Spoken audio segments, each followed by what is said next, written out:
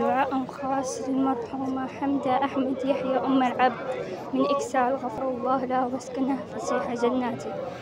اللهم اغفر لها وارحمها وعافها واعف عنها واكرم نزلها واسع مدخلها. واغسلها بالماء والثلج والبرد ونقها من الذنوب والخطايا كما ينقى الثوب الأبيض من الدنس. وابدلها دارا خيرا من دارها وأهلا خيرا من أهلها. وذرية خيرا من ذريتها. وأدخلها الجنة. وأعيذها من عذاب القبر ومن عذاب النار. اللهم اجعل قبرها روضة من رياض الجنة. ولا تجعلها حفرة من حفر النار. اللهم انزل على قبرها الضياء والنور والفسحة والسرور.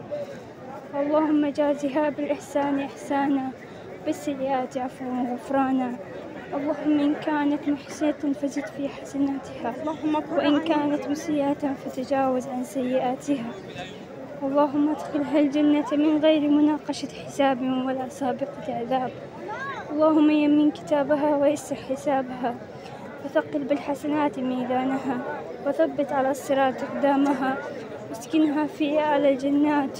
بجوار حبيبك ومصطفاك صلى الله عليه وسلم. اللهم أنسها في وحدتها وفي وحشتها وفي غربتها.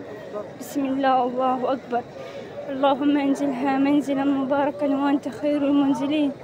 اللهم أنزلها منازل الصديقين والشهداء والصالحين.